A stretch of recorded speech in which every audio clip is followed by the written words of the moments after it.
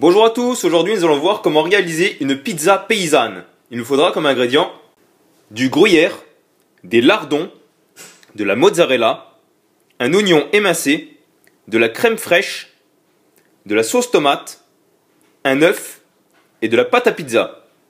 Tout d'abord on étale notre pâte que l'on positionne ensuite sur un plateau. On met ensuite notre sauce tomate que l'on étale avec le dos de la cuillère. On disperse ensuite nos lardons. On place nos oignons émincés. On met ensuite notre crème. On met du gruyère sur toute la surface.